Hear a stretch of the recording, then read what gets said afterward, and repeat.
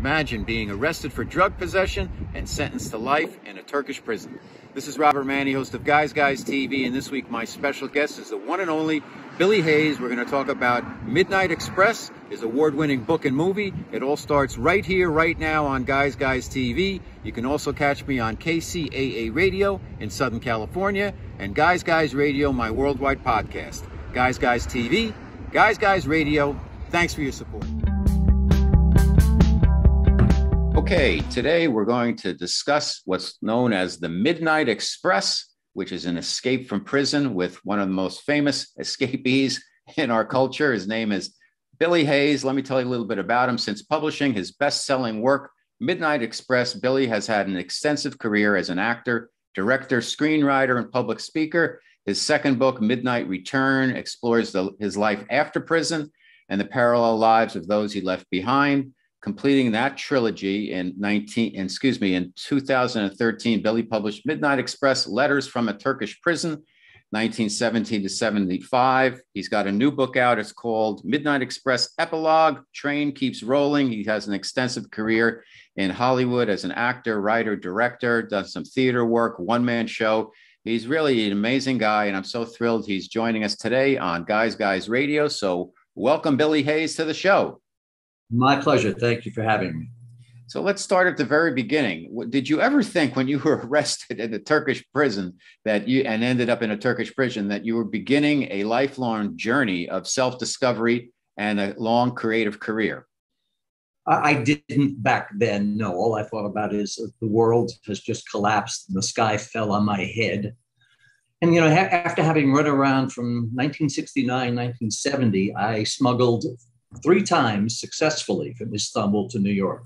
So I knew I was golden, invincible, and nothing could touch me. That's how stupid I was. And then on the fourth trip, I was arrested, and uh, the sky fell on my head. And I realized not only have I just completely fucked up my own life, but I've just put all the people who love me in prison. And that actually became the most difficult part of jail is knowing that my mom went to sleep every night with pain in her heart. Um, anyway, I, I, was originally sentenced to four years and two months, which seemed like forever to me. And I was constantly trying to escape. I had a variety of plans that I was working on. And one of the plans included going to a madhouse and having my best friend in the world come to help me and help me get out. And in the process of doing that, he was uh, murdered in a hotel room. All right, all right, hang on, hang on. Let's I want to start again because I'm going to get to all of that, but I want to just get some context at the beginning. And you can't say fuck, okay? Oh, all right. All right. So let's just start over. Let me let's mark this at the. Uh, no, no worries though. Okay. All right. Okay. All right. Ready? Yeah. Okay. Uh,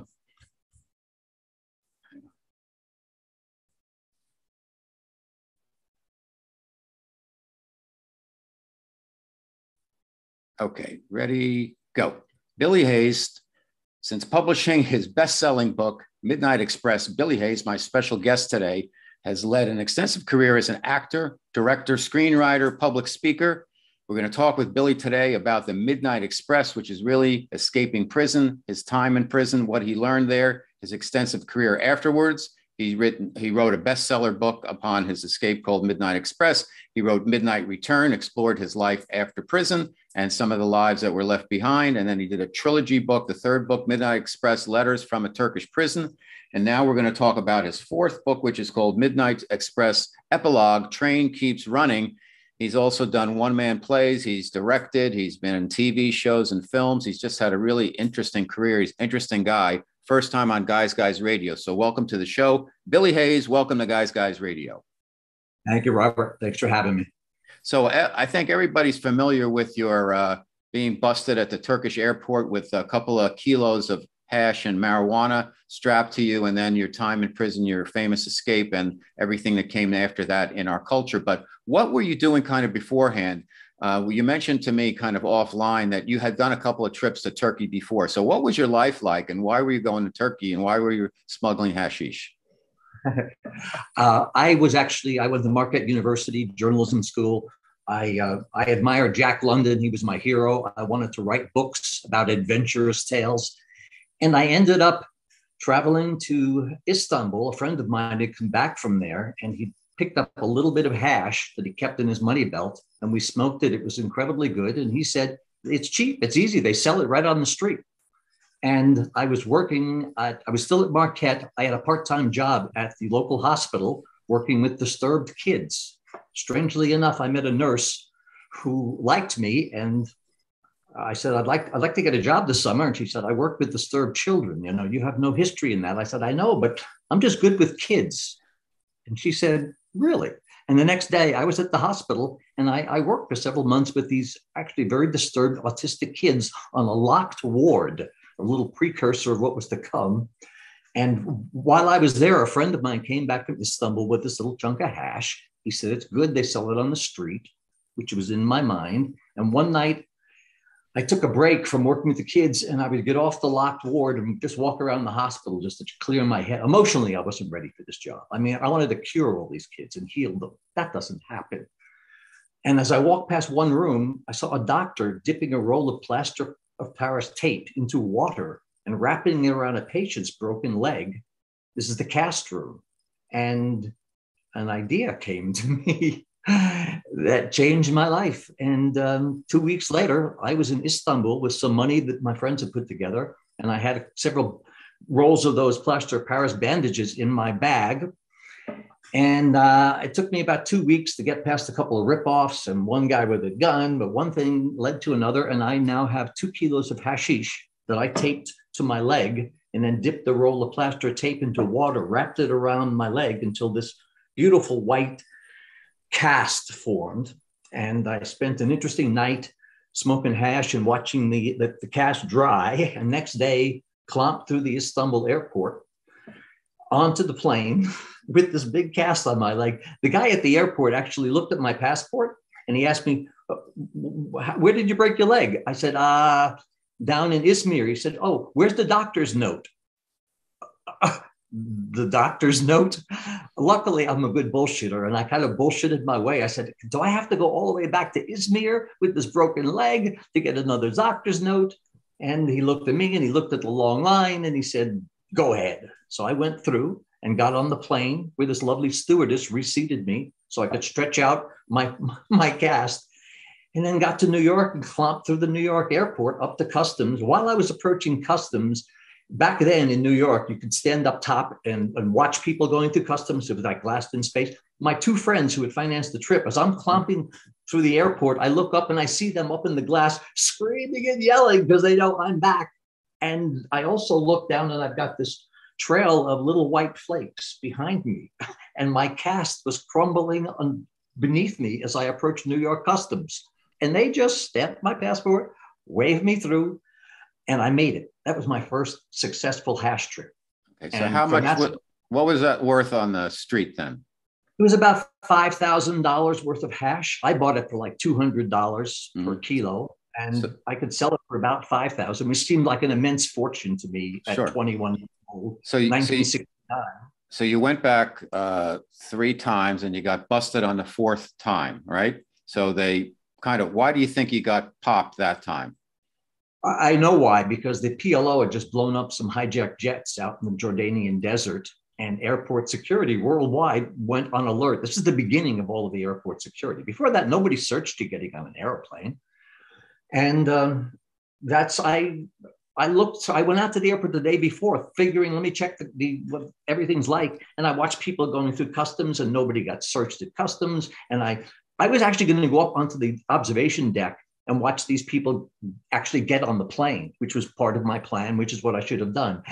Except I had met this English girl who was studying belly dancing every day, and she would love to show me her latest moves. So I ended up going back. I knew this is fine. And I went back to meet the belly dancing girl instead of going up on the observation deck and seeing what I did see the next day, which is they were taking all the people to the airport and putting them on buses and taking them out to the plane, which was cordoned off by a big rope, and they had a, a brown table in front of the boarding ramp with policemen on both sides and soldiers surrounding the plane with guns. They were searching everybody right at the airplane.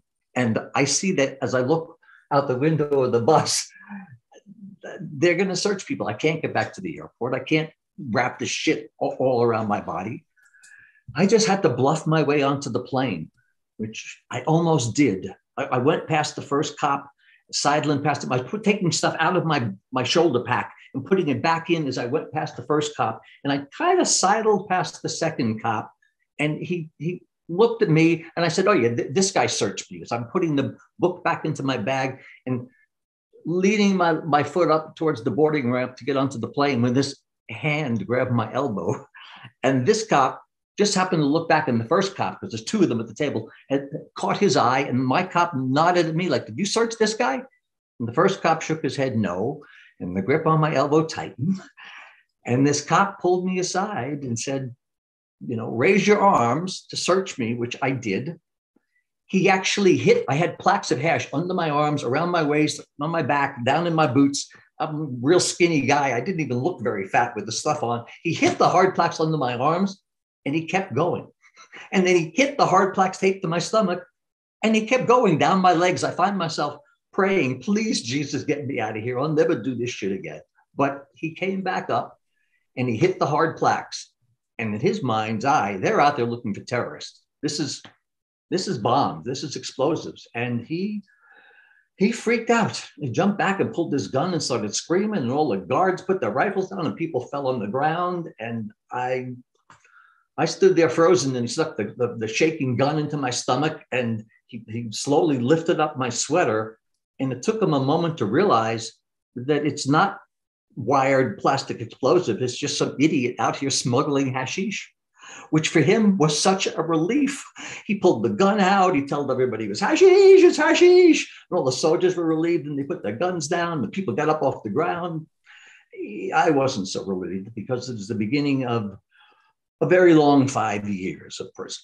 So you, uh, you got, uh, how did you get your legal um, representation there? And what happened uh, short form of this, please. Um, when you went from a four-year term to uh, more of a life, 30-year slash life term, what happened there the, in legally, the legal system?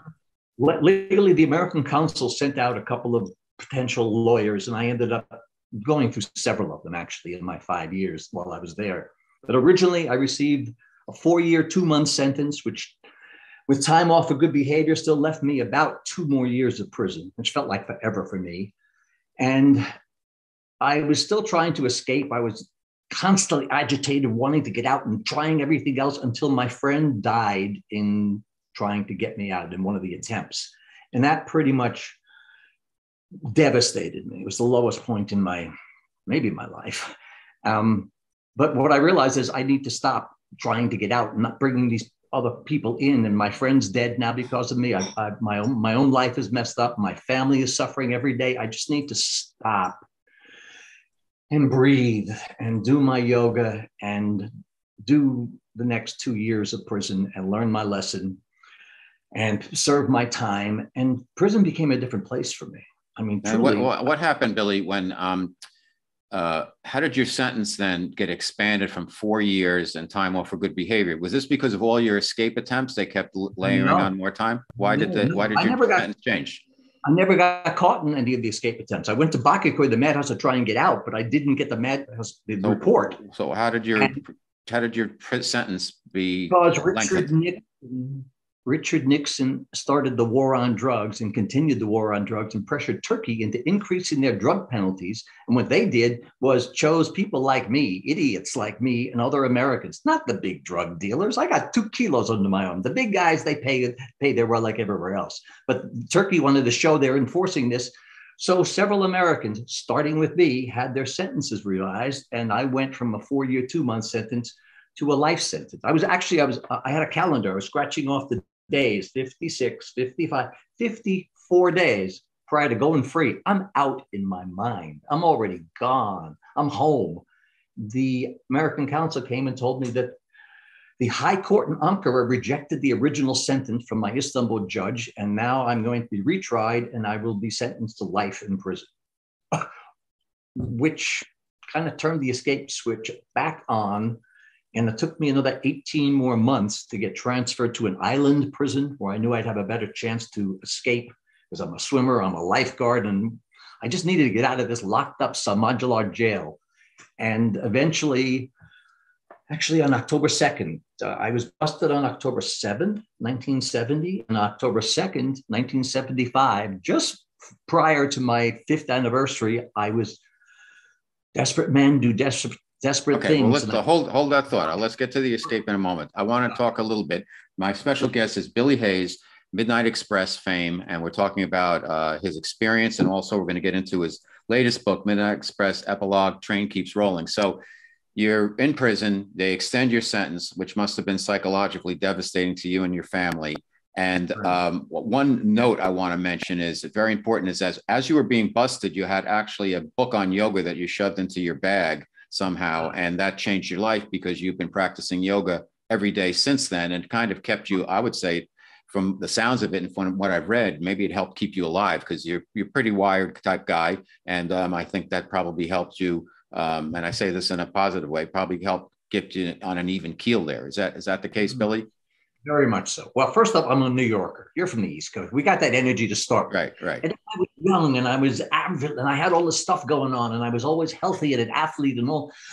And then I got forced into a place where in prison you have no control over anything except yourself.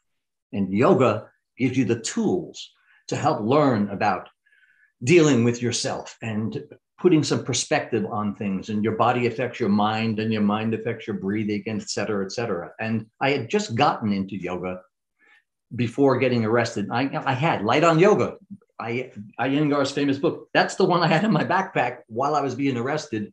And i i started doing it in jail every day and i have not stopped now till like 52 years. And it truly wow. saved my life in prison now, the type of yoga you did in your cell was it more of a was it like a hatha yoga, or was it more breathing oriented, or was it more physical, or both? Because you know, there's so many different types of yoga now, and things have changed, and a lot of people, a lot of Americans, of course, have gotten into it. Becomes this physical taxing thing where the origins of yoga seemed more focused on breath.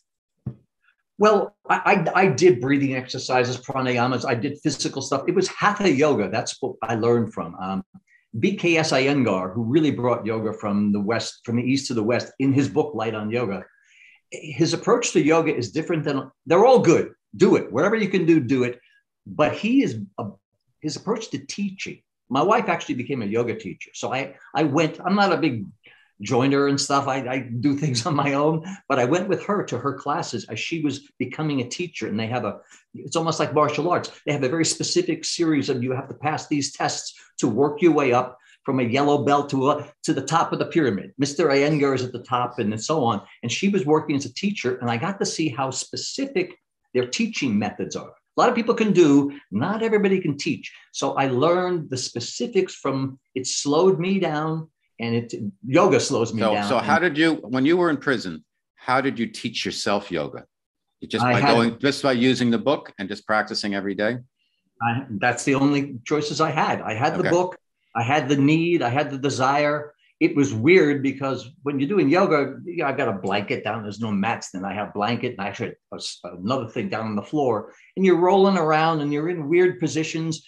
It's not a good thing to do in jail because there's a whole lot of guys around who right. like they're interested in what you're doing. Luckily for me, you know, I'm not real big. I was young. I was 22, 23 years old, blonde hair, blue eyes, very pretty. Not the best qualities to have in jail. But luckily, on my first night in jail, I got in a fight with a guy, sort of a prison trustee kind of guy. And one thing led to another. And again, I'm not real big, but I used to be really fast. And I did a bunch of martial arts and shit when I was in college.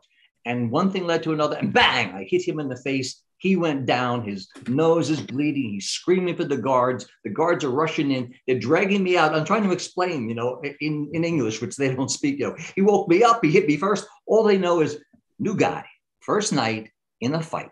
And they have a way of dealing with fights in prison. If you and I have a fight and I'm all bloody, they'll beat you equally bloody if you're all bloody, they'll beat me equally bloody. Like you can't, so you got to get in, you got to get out and not have guards catch you.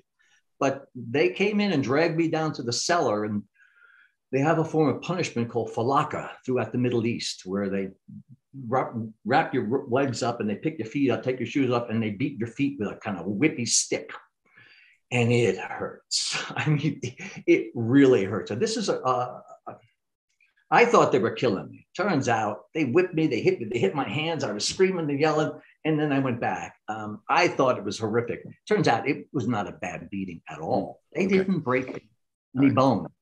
That's how you decide a bad beating in jail. If they break your bones, it's a bad beating. If they break your bones and beat you the next day, it's a really bad beating. They didn't even break my bones. A little more on uh, the day to day life in prison. How many guys were in your cell? What was uh, life like? I mean, I've seen the movie. I remember you guys pushing the wheel around and all of that. And we'll get into the movie and how some Good. of the some of it wasn't uh, exactly accurate. But um, what was day to day life like in prison in Turkey? First year, we had individual cells, about 12 feet long and a couple of feet wide, a little hole in the floor in the back of your toilet, which I hated, being locked in there every night until I lost it. I never appreciate anything till I lose it.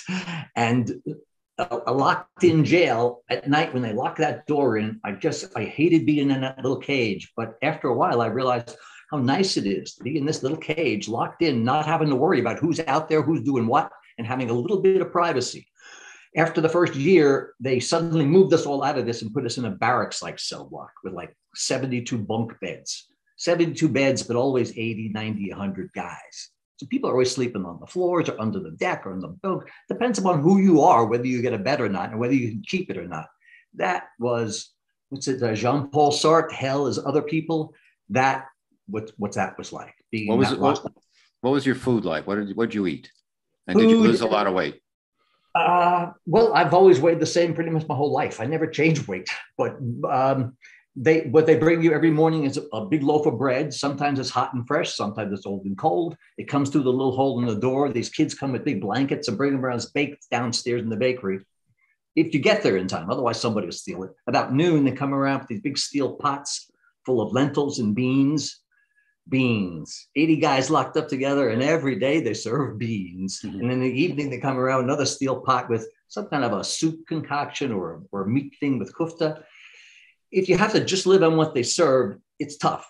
Then they come around and sell shit. Prison is this vast captive market, 2,000 guys wanting and outside vendors would come in with big carts and you can buy all sorts of stuff fruits and vegetables and onions and olives and pistachios. If you have money you can you can live well in jail. If you don't have money it's really bad and you've got so to work how, do you how do you deal with that billy with money? Did you have money? Did you have it was i guess dad, if you, did you have some dollars? Did your parents get you some money? How did that all work well, I had some money with me when I was busted, but not not a lot. But my dad took care of it. My dad came to the prison and showed them. My dad brought money in, inside.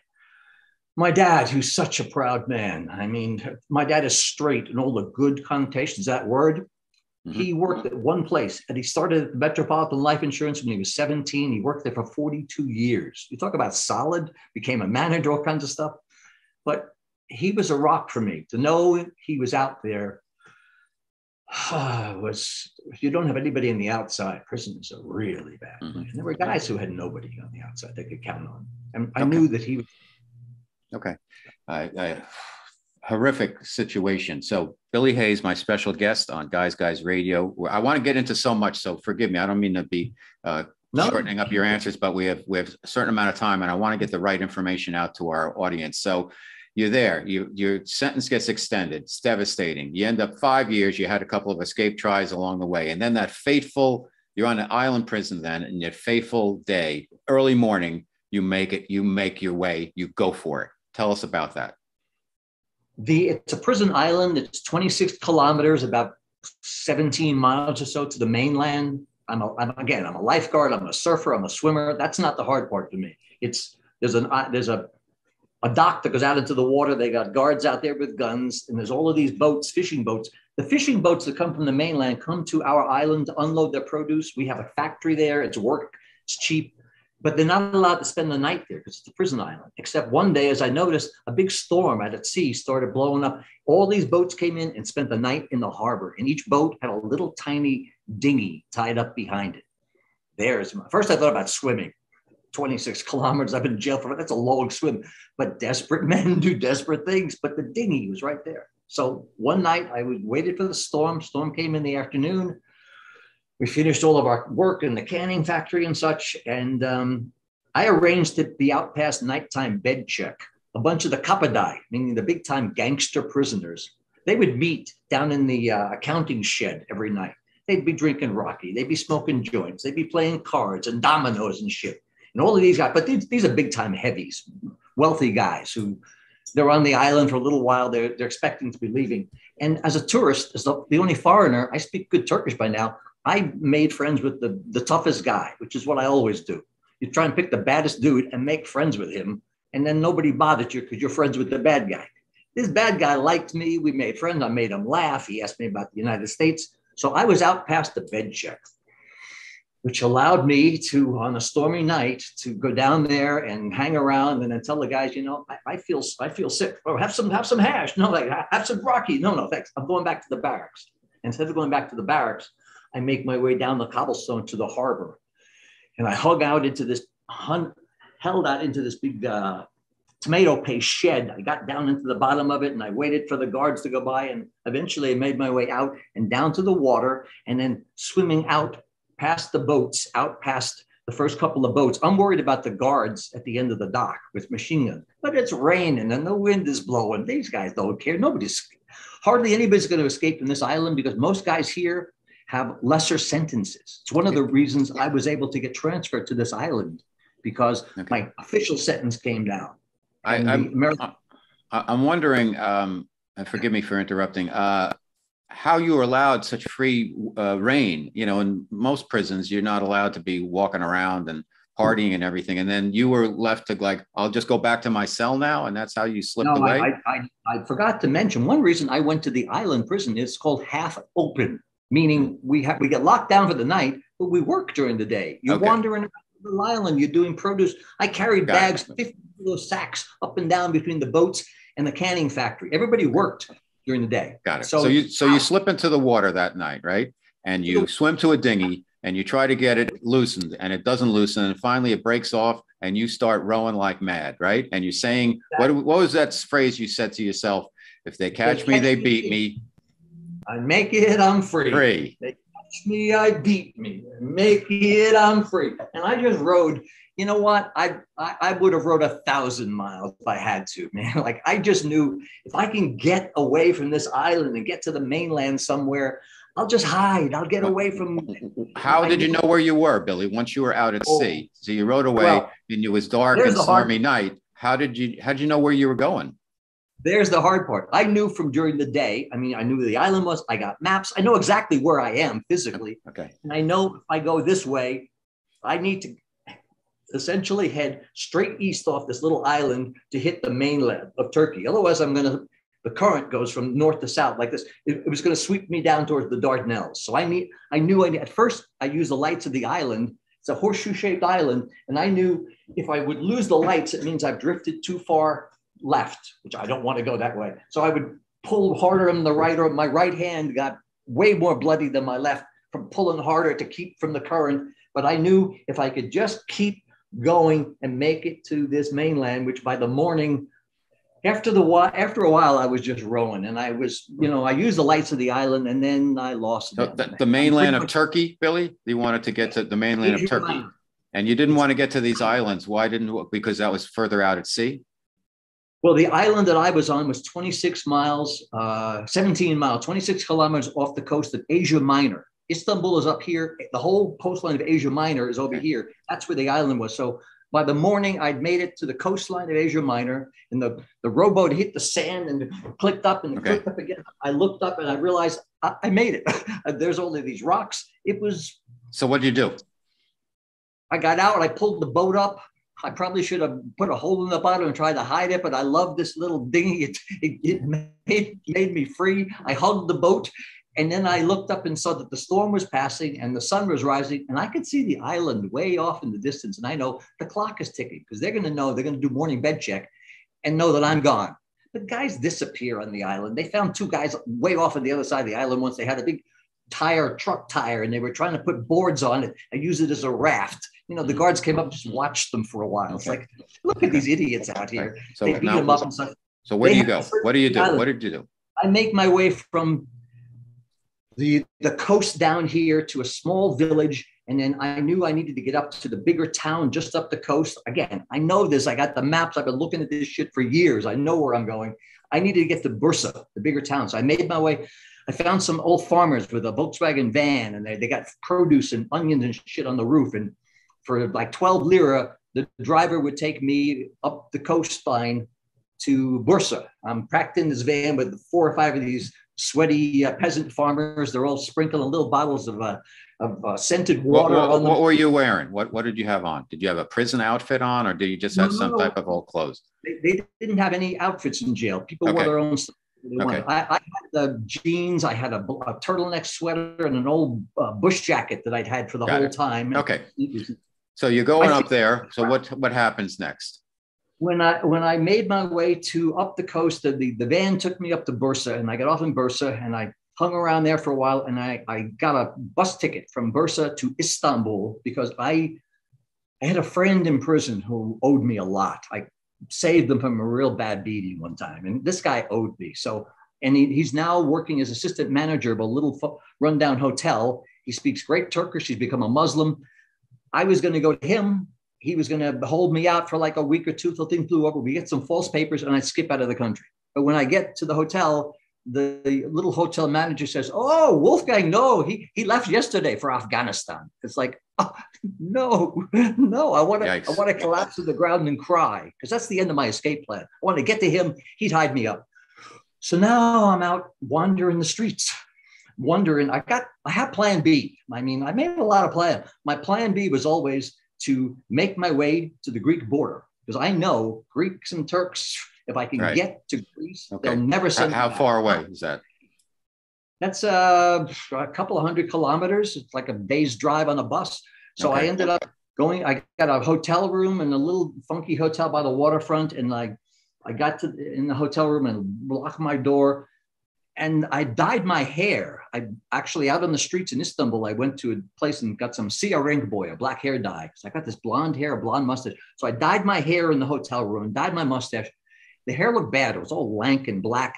The mustache, it looked so phony. It looked like a big chunk of licorice on my upper mm. lip. I went back out, bought a razor, and shaved off my mustache. Now I got this lank black hair and this raw space kind of outlined in black. I was a mess, but I kind of fit in with the crowd. And the next day, I went to the bus station and took a bus to Edirne, which is the border town that's on the river between Turkey and Greece. So the bus got me to Edirne. I got out, I went to a local cab stand, and I, I found some young long haired driver with an old blue Buick. And I told him some uh, bullshit story about camping with some friends of mine south of here along the river, because that's the river to get across. And he said, Where did you learn Turkish? I said, uh, I was in prison in Istanbul. He said, hashish? I said, yeah. He said, you want some hashish? I said, no, no, no, God, I don't want any hashish. I just need to get to the campground. So we drove south and we went past little villages. Actually, he stopped in one little village where we stopped. He yelled out to some people for directions to the campground. And I see a guy with a newspaper with a full page headline, colors and everything of this muscle bound, I should look that good, muscle bound blonde guy with a big knife in his hand, cutting the rope on a rowboat in a stormy sea. Like that's on the newspaper headline of good idea. It's like, no, no, no, go, go, go. So we kept going, went south. We went south. We got past the last the kind of road, petered out. It became dirt. The kid wouldn't go any further. I said, just a little further. I know my, my the campground's right down here. He drove a little ways to a stopped at the edge of a dry cornfield. So I get out of this car. I stood on the front bumper of his car, looking west at this crimson sun setting back behind dark rolling hills. And I, I know down there somewhere is the river, and the river is my salvation. So I, I gave the kid the last of my Turkish money. And he actually, I, I said, uh, you know, Alas Maladuk, one of the greetings, and he returned the greeting. And then he stopped. He tried to talk me out of it. I said, I'll find my friends. I know where he is. He said, No, it's dangerous. You don't want to be out here alone at night as a tourist. I said, Thank you, but I'll I'll deal with it. Now you get to the river. What'd you do then? You did you swim uh, across or did you get a oh, yeah. hop on oh, a boat yeah. or what? How far no, across no, no, was it? No boats. There were no boats. I didn't so, need a boat. I can, I can swim anywhere. It was a pretty good sized river. The Maritsa River flows down from Bulgarian mountains to the Aegean Sea. All right. On the how other side. Did, how long did it take you to get across? Well, partly is getting from where the kid dropped me off in this cornfield, and I waited for the sun to go down and made my way up in the hills. And there were some Turkish guards, and it was.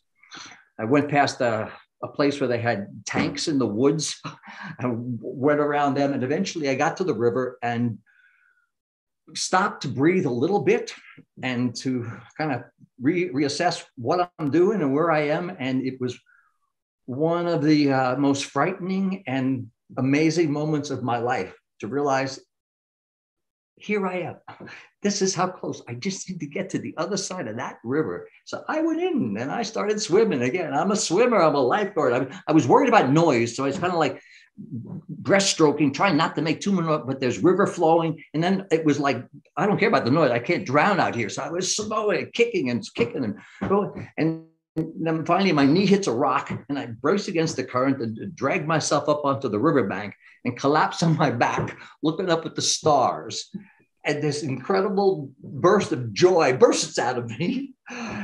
But you know, I'm, I'm across the river now, but the, the river and the Turkey and Greece, the river goes like this, but over the years, the river shifted. So there's been times where like Turkey's here and the river's there, and now Turkey's here and the river's here. There used to be a bridge I'd heard from prison scuttlebutt that when you come around this big bend on that bridge, if you jump off, it'll be Greece, not Turkey, and you know all that kind of stuff that you hear in jail. So, so you, I wasn't sure. But you made it. So you made it. So I uh, made. I didn't know that I was in Turkey. I, I, mean, I didn't know that I was in Greece. That was my problem. I didn't want to go up to the first guy and have him be a Turkish border guard until I kind of wandered through the woods most of the night. And about 5:30 in the morning, the sun was just starting to come up and I came out of the woods to this dirt road, which I, I knew I shouldn't be on because they're going to be looking anywhere. But it was so good on my feet because I'd taken my shoes and socks off. I forgot on the other side of the river and buried them thinking I heard dogs. So I buried my socks and shoes and socks thinking for the dogs, smell these shoes and socks. It'll blow your noses out. So now I'm walking barefoot. My feet are all chewed up. I don't care. I'm so close. I'm so close.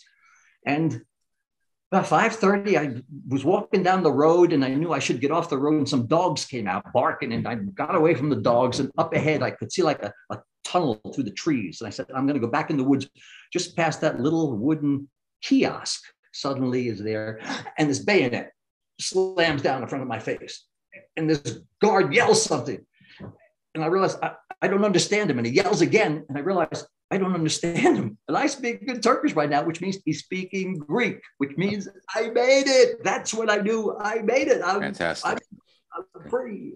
So, how long did it take from that point, Billy? Um, again, my special guest is Billy Hayes, uh, Midnight Express fame. We're doing kind of a short version of his his escape, his time in prison, his escape, and how you you realize then you're in Greece. How long did it take you to get back to the U.S. and how did you decide to write your book? How long did it take? And then what happened from there? Um, the, Fast Greeks, the Greeks kept me in the woods for 12 days while they figured out what to do with me. And then they finally, they deported me as being a bad influence upon the youth of Greece, which I love. It's the same charge against Socrates, bad mm-hmm. influence upon the youth of Greece. And eventually they, they took me to the border and I got on a plane and flew to Amsterdam, where I spent very interesting two days in Amsterdam. And then I took the plane to New York City. And when I got off at Kennedy Airport, there were a hundred shouting reporters with lights and cameras and people screaming questions. Billy, what's it feel like to be home? I don't know. I just got here. Haven't even seen my mom. And that never stopped. And people still asking questions. 50 years later, I'm still talking about this. I got home on a Friday. I was on all the TV stations. I wanted to forget jail. I mean, I'm a writer. It's why I went to Marquette. I wanted to get some experience, but I want to forget jail for a while. I don't want to think about jail. But by Monday, I was meeting with literary agents, and I ended up with a gentleman named Julian Bach, who I just loved. And uh, he got me working and writing, and I, I, sent him 15 pages, and he said, "Well, Billy, this is wonderful because we know now we need a professional writer." I said, "No, I'm a writer. I'm a journalist." He said he turned my my style the uh, hysterical subjective, which is probably still reflected reflected here in my speech.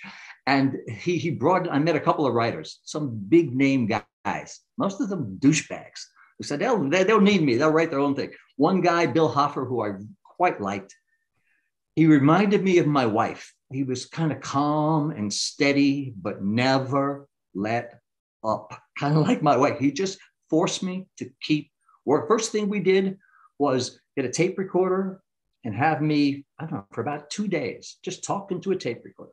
And then they they transcribed it. That's a humbling experience to read what you what you say and how you say it, especially when it gets so personal. How, how, long did the process take then from to get the book in uh, saleable shape, publishable? Less than six months because my agent and uh, EP Dutton all said we need this book now. Ah, right. So I didn't have a chance to forget about it. They forced me forced me, but they made me write it. Bill Hoffer was steady but strong, and kept me writing and writing. We did an outline. He outlined everything. We know it starts here, it finishes there. Now we just have to finish the middle. Okay. And every day I would send him pages and he would send back, uh, or we went back and forth to New York. And I have had everything done except chapter nine, which was the uh, the madhouse, Bakırköy, which I just okay. couldn't get to. Bill said, you need to do that chapter. I sat down and I did that in about two hours, hardly any edits just boom, finally, it just all came out. Okay, so the book comes out, it's an instant bestseller. How quickly did the movie rights uh, get optioned? Before the book was even out, um, a manuscript of the book was found by through some other way to uh, Peter Guber, who was a producer at Columbia, who was just starting out right then. And Peter is quite an amazing guy. He's so smart and he just he has more energy than I do. He just never stops. And he knew He's story, story, story. He said, This story is going to work for us. And then he brought in some writers and he had me meet with um, Oliver Stone. I spent a week in a hotel room with Oliver Stone. Um, interesting experience. I loved him. He had all this incredible energy and he wrote the script. I have problems with the script. Um, obviously, it's a great movie. I'm, I'm thrilled that they did the job they did. But there's things in the film that don't represent me or my experience or my book or I couldn't write about Turkey in Midnight Express, my first book. That was the fourth trip. I'd made three successful trips. I loved Istanbul. I had a Turkish girlfriend. I couldn't write about any of that. I wanted to. My lawyer, when I got home, said, Wait, a wait, you want to write about your first three trips and then your fourth trip? I said, Yes. He said, Great. One more question. Are you out of your mind? You can't say that. I said, Why not? They can't, they can't prove anything. He said, they don't have to prove anything. The Turkish government is going to ask for your extradition. You're an escaped convict. Let's the uh, government say yes let, or no. Let, us you can't let, say three times okay. before you got past the fourth trip. So Oliver Stone was based upon the book, and the movie became very anti-Turkish. They had their own attitudes toward the Turkish people and towards my story, and then they made some huge changes. The biggest change is the courtroom speech in the movie where they've got my character cursing out the Turks. You're a nation of pigs. I blank your sons. I blank your daughters. Mm-hmm. The whole, and they had me kill a guard. So the whole world has seen me, my character, kill the guard, curse out the, nurse, the right. nation. The Turks saw that.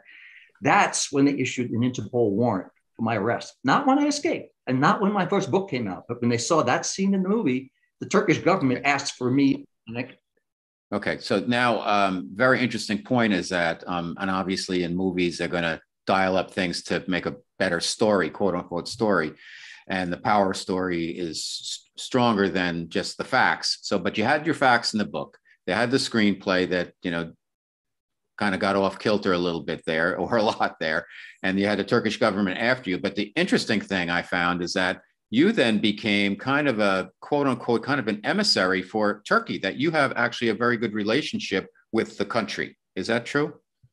Yes, it took quite a while because all, all the people saw was the movie at Cannes, which was spectacular, and the whole world knew about this. And everybody said, "We'll never go to Turkey. We hate Turkey." It's like no, go. Don't get arrested. You will not like the jail. I'll tell you that. Now, of course, there's all this political stuff coming down with Erdogan and all that madness. But mm-hmm. back then, I love the people. I love the country. All my Armenian friends were so adamant about me, like, don't talk about Turkey. Good. I, I understand about what happened with the Holocaust. I understand all that stuff. But for me personally, I, I didn't have to deal with that. I loved Turkey. I loved Istanbul. It was a great city. A young guy, 22, 23 years old in this city was incredible. And I had money in one pocket and hash in the other pocket, and I was freewheeling. None of that's reflected in the film, of course, because it's about the prison. And then Oliver Stone kind of took out his own animus about a lot of things in the courtroom speech, which to this day, people still say, oh my God, you know, we, what, are you still in what, touch with any of these folks from the movie, like Oliver Stone? I mean, do you still know him, or because I know you went on to your own career in Hollywood from there, and you. I I know everybody. Knew Oliver. We had some, you know, we'd see each other occasionally and stuff, and we'd have some interaction. But he just wrote a new book, and he said some things in his new book. I couldn't believe he said what he said because there was no reason for him to do all that. But um, I ended up writing a letter to Variety refuting some of the specific things that Oliver Stone said. Okay pretty silly because he's a smart guy. And the things that he said, if you read my book, you, you realize that contradicts just what he said. If you read the next page, you see it contradicts what he said. It's like, why make up these rules, these lies, if they can be easily disproven? Okay. Looking back, um, again, my special guest, Billy Hayes, we're talking about Midnight Express and his experience. And it's such a cathartic, life changing experience. And it's, it's too much to get into one show. So maybe we'll we'll do another one. But looking back, Billy, and you've had an amazing life and you've built a very good career out of this. What what do you feel when you look back and say to yourself, wow, look at where I was, look at where I am now? I mean, would you do it again? Was this just fate? How do you look at your life and how do you feel about it? Would I do it again? I've had people ask me that, you know, if I could if I avoid putting all that pain onto my parents, I would avoid putting that pain on them. But for me, I don't know. If I didn't smash up against a, wall there in Istanbul, if I got away, I'd have smashed up against a wall somewhere else because I wasn't taking responsibility for my actions, for my life. I was just running free, footloose and fancy free until that stopped me. And prison turned out to be the, the worst and the best thing that ever happened to me. I, I, I learned things I needed to learn inside. Um, I discovered my my reason for being in jail. I ended up meeting my wife at the Cannes Film Festival when the movie came out, and we've been together for like 42 years now. So when I'm hot, I'm really hot. And when I'm not, I'm really not. And I was not hot for a while in the 70s. And then by 75, suddenly I got hot again. And life's been sweet. You know, there's all that stuff everybody goes through, and there's ups and downs, and you want and all that stuff. But um, I'm a happy guy. I'm really lucky to be married to my wife, who fantastic. Let me let me ask you this, Billy. Do you ever, after that uh, experience, did you use hash or smoke weed after that, or was it uh, like, okay, that's enough of that, or did you just say, okay, I got popped, but I still enjoy it? Um, I basically smoke uh, hash every day. I've smoked cannabis virtually every day for the last 50 years.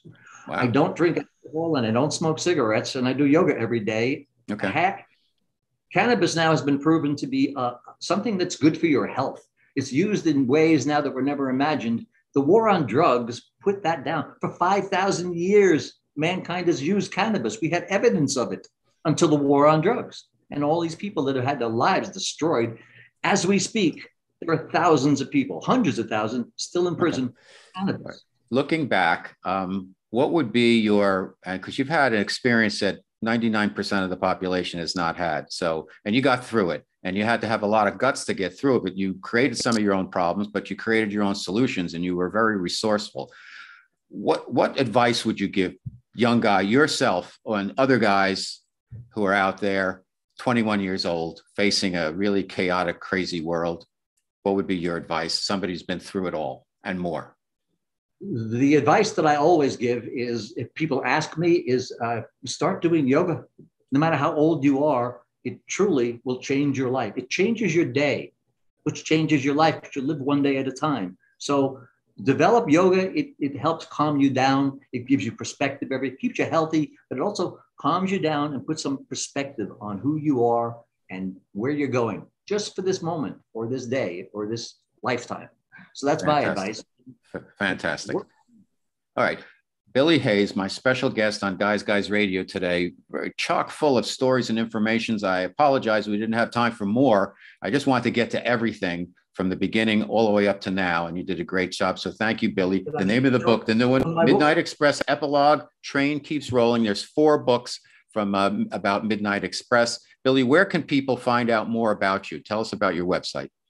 Go to uh, billyhayes.com, B I L L Y H A Y E S.com. I can barely open my emails, but they've got a website and it's got all of the stuff on it, the information about my books and my theater pieces, etc. Okay, thank you so much. Great job. Really fascinating stuff. Again, I apologize. I need to get to so much of your story, and there's so much there, and you're very passionate about it, and it's totally understandable. So I hope everybody really enjoyed what you had to offer because it's really an amazing story. So thanks for being my guest on Guys Guys Radio, Billy. I appreciate it. You got some really good people on. Larry Grabell is an old poker playing friend of mine. Uh, okay. Yeah, yeah, he's been on a few times. I consider oh, him yeah. a mentor. He's fantastic. All right. Thank you, Billy. Thank you, Robert. If you're enjoying the content and the guests I bring you each and every week to Guys Guys Radio and TV, please subscribe to our channels. Thanks for your support.